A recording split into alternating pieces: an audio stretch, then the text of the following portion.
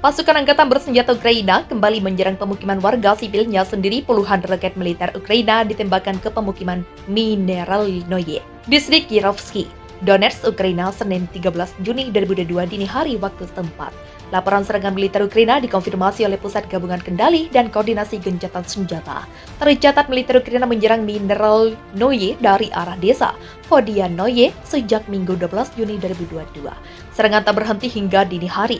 Pusat Gabungan Kendali dan Koordinasi Gencatan Senjata menyebut ada 20 roket militer Ukraina yang menghantam pemukiman sipil Mineral Noye pada 0050. 20 roket ditembakkan dengan sistem BM-21 Grad dari sisi desa Vodianoye di Donetsk, distrik Kirovsky. Bunyi pernyataan Pusat Gabungan Kendali dan Koordinasi Gencatan Senjata. Dilansir FIFA Militer dari kantor berita Rusia TASS. Kami memperbaiki tembakan dari sisi angkatan bersenjata di pemukiman mineral Doye 6. Roket ditembakkan dengan peluncur BM-21 Grad. Lanjut pernyataan tersebut. Tak hanya di mineral Monoye, militer Ukraina juga membombardir pemukiman sipil lainnya di distrik Kievski. Militer Ukraina menembakkan artileri kaliber 152 mm dari arah Avdiivka. Mineral Doye dan Avdiivka menjadi sasaran tembak militer Ukraina dikarenakan menjadi salah satu basis pemberontak pro-Rusia Republik Rakyat Donetsk hingga berita ini diturunkan. Pihak baik militer Ukraina maupun Angkatan Bersenjata Federasi Rusia belum memberikan keterangan terkait jumlah korban dan kerugian dalam serangan ini. Angkatan Udara Ukraina melaporkan pengebom strategis Tu-95 Rusia meluncurkan rudal ke Kiev dari Laut Kaspia pada Minggu 5 Juni pagi dan dua distrik timur ibu kota Ukraina diguncang ledakan. Asap gelap membubung ke langit di atas distrik Darnetsky dan Dniprovsky, tempat ledakan terdengar. Menurut ajudan Kepala Staf Presiden Volodymyr Zelensky, Serhiy Lelskenko, serangan itu menargetkan infrastruktur kereta api. Wali kota Kiev Vitali Klitschko mengatakan, setidaknya satu orang dirawat di rumah sakit meskipun tidak ada kematian yang segera dilaporkan. Kementerian Pertahanan Rusia mengatakan telah menembakkan roket ke Kiev dari jarak jauh dan menghancurkan tank T-72 dan kendaraan lapis baja yang telah dipasang ke Ukraina oleh negara-negara Eropa Timur dan ditahan di gedung perbaikan gerbong kereta api. Pertahanan udara, Ukraina hanya mampu menghancurkan satu rudal jelajah sekitar pukul 6 waktu setempat. Setelah mengidentifikasi rudal yang masuk, sirine serangan udara secara teratur mengganggu kehidupan di Kiev. Tetapi tidak ada serangan besar di kota itu dalam beberapa pekan. Distrik Darnitsky di tepi kiri sungai Dnipro membentang dari pinggiran Kiev hingga ke tepi sungai. Sedangkan area Dniprovsky di utara kota terletak di sepanjang sungai. Rudal-rudal itu yang pertama menghantam ibu kota sejak akhir April. Menurut data awal, Rusia meluncurkan rudal dari pesawat Tu-95 dari Laut Kaspia. Kata Angkatan Udara Ukraina dalam sebuah pernyataan. Penasihat Presiden Ukraina Mikhailo Podolyak meminta Barat menjatuhkan lebih banyak sanksi kepada Rusia untuk menghukumnya atas serangan itu dan untuk masuk lebih banyak senjata ke Ukraina. Kremlin menggunakan serangan berbahaya baru, serangan rudal hari ini di Kiev yang memiliki satu tujuan bunuh sebanyak mungkin, tulisnya. Wali kota dari kota bersejarah Brovary, sekitar 20 km dari pusat Kiev, mendesak orang-orang tetap di dalam rumah karena ada laporan tentang bau celaga yang berasal dari asap.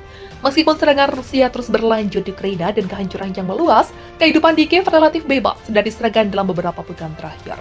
Setelah Rusia mengalihkan fokus invasinya ke timur dan selatan, serangan ke ibu kota Ukraina ini terjadi usai Presiden Rusia Vladimir Putin memperingatkan Barat dia menyatakan Rusia akan menyerang target baru jika Amerika Serikat mulai memasuk Ukraina dengan rudal jarak jauh. Kami akan menyerang target yang belum kami pukul, kata Putin seperti dikutip dalam kutipan wawancara dengan saluran televisi pemerintah Rusia 1. Putin tidak menyebutkan target yang direncanakan Rusia untuk dikejar jika negara-negara barat mulai memasuk Ukraina dengan rudal jarak jauh. Dia mengatakan keributan seputar pasukan senjata barat ke Ukraina dirancang untuk meredakan konflik. Ukraina telah mencari multiple rocket launch system seperti M270 dan M142. HIMARS untuk menyerang pasukan dan persediaan senjata di belakang pasukan Rusia. Presiden AS Joe Biden mengumumkan rencana minggu ini untuk memberikan sistem roket HIMARS presisi ke Ukraina setelah menerima jaminan dari tidak akan menggunakannya untuk mencapai target di dalam Rusia. Meskipun para pejabat Rusia telah memperingatkan bahwa keputusan AS untuk memasuk Ukraina dengan sistem roket canggih dapat memperburuk konflik, Putin mengatakan itu tidak akan membawa perubahan mendasar di medan perang. Kami memahami bahwa pasukan sistem roket canggih dari Amerika Serikat dan beberapa negara lain dimaksudkan untuk menebus kerugian peralatan militer ini. Kata Putih, ini bukan hal baru, ini itu tidak mengubah apa pun pada dasarnya, katanya dalam kutipan wawancara yang sama yang ditayangkan pada Sabtu 4 Juni. Putin membuat pasukan anti pesawat Rusia menembak jatuh puluhan senjata Ukraina. Mecahnya seperti kacang, ujarnya mengklaim kesuksesan serangan. Rusia dilaporkan kembali menyerang ibu kota Ukraina, Kiev dengan rudal pada Minggu 5 Juni pagi, untuk pertama kalinya dalam lebih dari sebulan. Tak hanya itu, para pejabat Ukraina juga mengatakan serangan balik di medan perang utama di Ukraina Timur telah berhasil merebut kembali separuh kota sivil Donetsk. Reuters melaporkan asap gelap terlihat dari beberapa mil jauhnya setelah serangan di dua distrik terpencil di Kiev. Ukraina mengatakan pemogokan menghantam pekerjaan berbaikan kereta api, sementara Rusia telah menghancurkan tank yang dikirim oleh negara-negara Eropa Timur ke Ukraina. Saat tidak hanya satu orang dirawat di rumah sakit, meskipun tidak ada laporan kematian. Serangan itu merupakan peringatan tiba-tiba akan perang di ibu kota di mana kehidupan normal sebagian besar telah kembali sejak pasukan Rusia diusir dari pinggirannya pada Maret seperti diutarakan Reuters.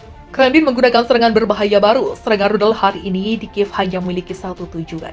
Bunuh sebanyak mungkin, bunyi tweet penasihat Presiden Ukraina Mikhailo Podolyak. Ukraina mengatakan Rusia telah melakukan serangan menggunakan rudal jarak jauh yang diluncurkan dari udara yang ditembakkan dari pembom berat di Laut Kaspia. Sebuah senjata yang menurut Reuters jauh lebih berharga daripada tank yang diklaim Rusia telah ditembak. Operator tenaga nuklir, Ukraina mengatakan sebuah rudal jelajah Rusia telah terbang sangat rendah di atas pembangkit listrik tenaga nuklir terbesar kedua di negara itu.